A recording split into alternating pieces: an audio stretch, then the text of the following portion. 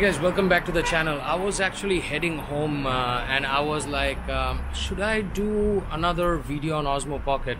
Um, but um, you know, like I was thinking that everybody of us, we have tested out videos. So there are two modes in the Osmo Pocket, Basic and Pro. Um, and uh, we when we nobody did an in-depth comparison about what you are getting on a Pro mode. So what I did was um, I was actually returning home and I thought that, hey, uh, let's check out the Pro mode and uh, let's give a verdict whether the Osmo Pocket is actually a better, better camera or it's more like made for videos rather than photo cameras. And now, if you are comparing this with a DSLR, obviously the Osmo Pocket doesn't even stand a chance against uh, uh, competing against a DSLR. But uh, if you see that uh, uh, if, is it a kind of a good camera for you know like everyday photography and stuff like that maybe can be beat rx 100 mark 4 mark 3 since they share the same kind of sensor. But i'm pretty sure that the rx 100 actually has got a one inch sensor.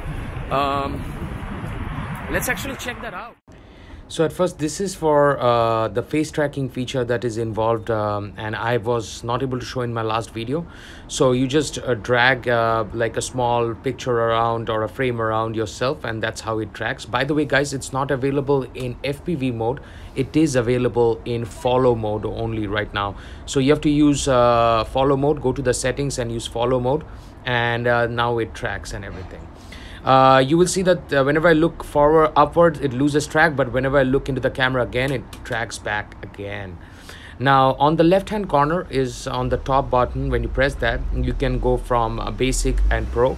Right now when you are taking videos in basic you cannot toggle to pro. So you have to turn off the video and then toggle to pro.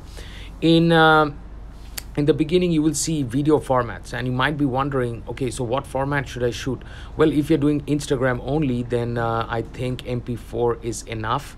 But uh, for all those guys those who want to make a c-roll or a b-roll kind of uh, footage can use mov and that's where the 100 megabits per second uh, raw is involved in that.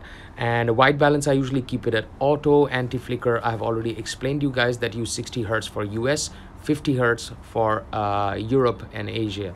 Uh, voice amplification level, I keep it auto. Noise reduction should be on. Grid is grid lines. If you are outside, turn on the noise reduction and focus mode.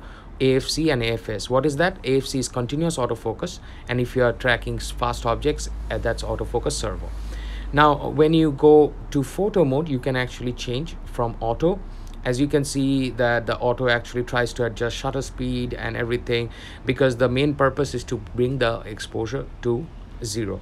Now when i toggle to manual mode i can on the top is my iso button and i can change my iso from uh, 100 to 3200 guys. You cannot go more than 3200 and shutter speed you can go all the way up to i think 1 by 4000 do correct me if i am wrong and um, and uh, the main purpose of this video is to show you the quality of shots. And I will be uh, increasing the ISOs and I'm going to show you how all these pictures look like with different ISO levels.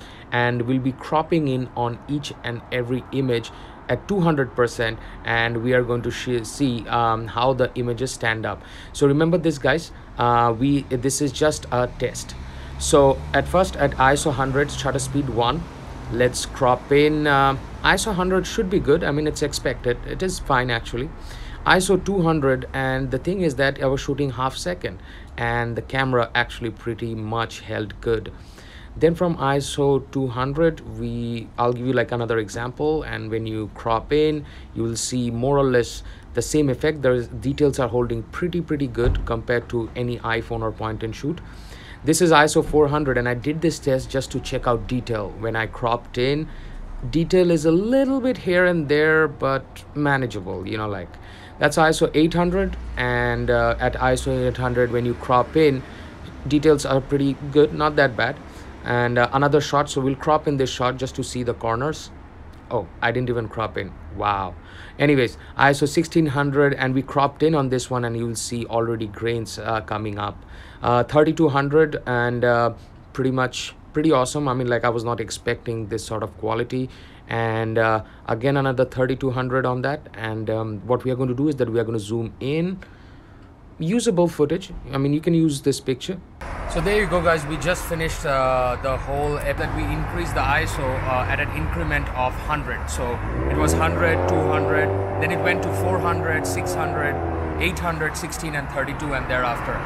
So uh, the results are in front of you. Let me know down in comment section what do you think.